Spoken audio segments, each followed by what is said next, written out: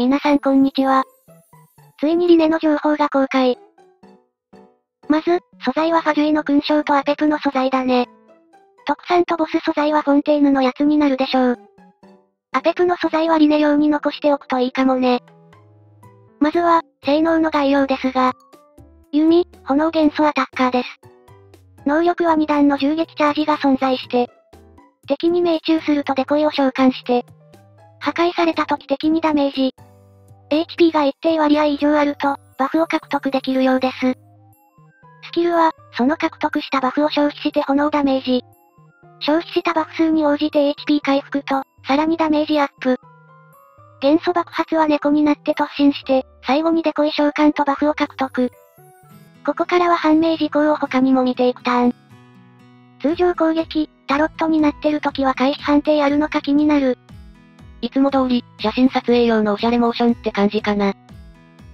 そして、銃撃についてだね。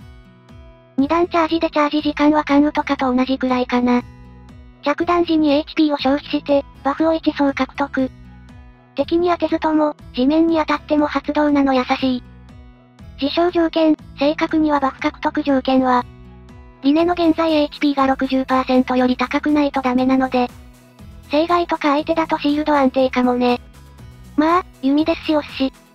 そして、バフは1回につき1層、最大で5層まで獲得できる。1割5分くらい消費してるけど、HP100% から5層できるのかな回復前提か突前提で、HP100% から5層なのでしょうか。8%を5回が多分、5層のラインだとは思うけど、明らかに8%以上減ってるように見えます。そして、この方法で HP が60%を下回らないとのことなので、60%で止まるようにストッパーがかかるみたいだね。忍は30%とか25%とかだった気がするから、比較的優しいラインで止まる模様。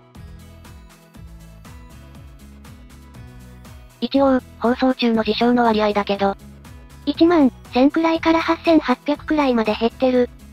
減った量は2200くらいなので、だいたい20%くらい自称していそうです。これだけだとすぐになくなりそうだけど、他の部分も読み進めていきましょう。はい、変に途切れていましたが、デコイのダメージについて。こちらは、リネの HP 上限に依存したデコイ耐久。攻撃範囲はデコイの見た目の割に単体っぽい。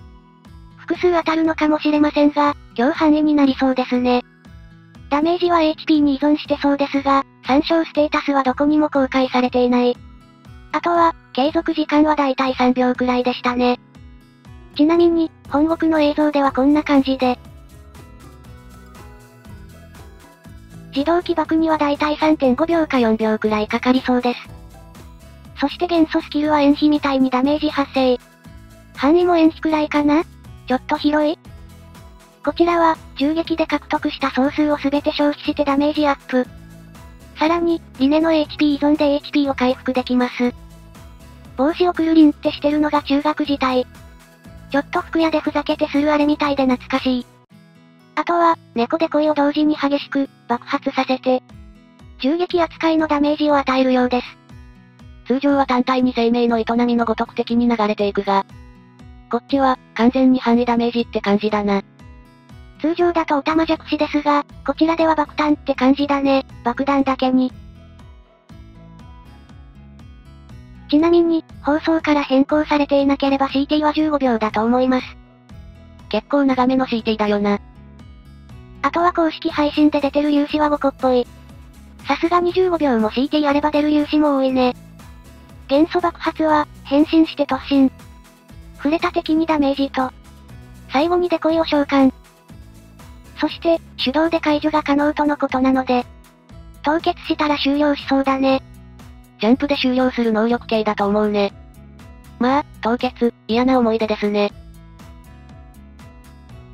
こ、注目です。爆発でなんと？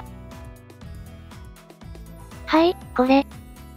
元素爆発後落下攻撃ができるようです。謎ですね。あとは、爆発の発動から終わりまでが4.7秒でした。比較的短目っぽいですかね。最終的には火力次第。見た感じだと、爆発中に触れた召喚物はそのタイミングで起爆されていますね。デコイを出して、爆発で爆発させてダメージを稼ぐとかそういうコンセプトかな？あとは、CT が15秒なので、60族かと思われるな。そして、ところがギッチョンしそうな固有添付能力もあります。銃撃が当たった時ダメージが発生します。漆黒の打天使みたいな、やつですね。天から突き刺してるやつ。この貝殻みたいな敵は、頭上に弱点判定とかダウン判定があるのかな。このトゲは、一定間隔ごとに発動可能らしいが、強いのだろうか。実装後の倍率に期待ですかね。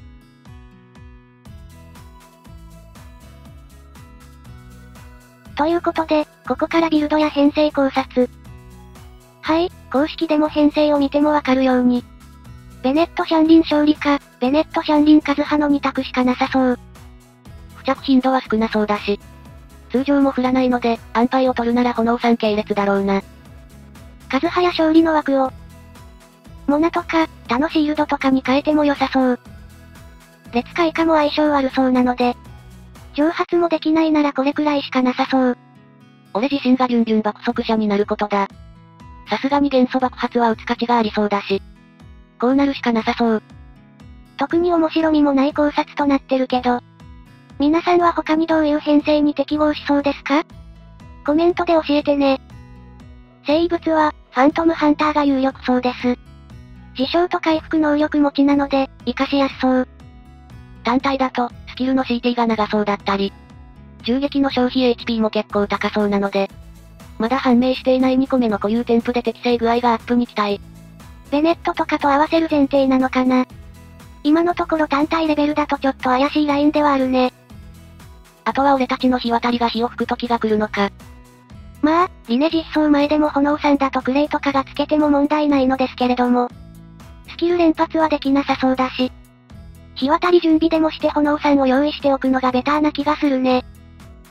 リネの参照次第では甘露もいけそうだね。まあ、HP 依存だけなのか、攻撃力も参照するのか。それとも、HP 参照側で恋の耐久だけなのか。メインステータスに関しては実装まで待たないといけなさそう。武器はこの辺りになりそう。参照ステータス次第ですが。前期ほぼ同時ピックアップの若水。ダメバフや会心ダメージ、サブでは HP も増える。攻撃力参照ならヘッドショット狙いの単造弓。HP 参照であれば、弾球やリカーブ棒なんかも、端的に言えばエランに適性のあるチャージ系以外の弓を扱えそう。弓は粒揃いなので候補はたくさんありそうです。ということで、今回はリネの事前性能と、事前考察でした。紹介していませんでしたが、リネの特産品レーダーの添付も結構優秀ですよね。皆さんは引く予定ですか？よかったら教えてね。ご視聴ありがとうございました。さようなら。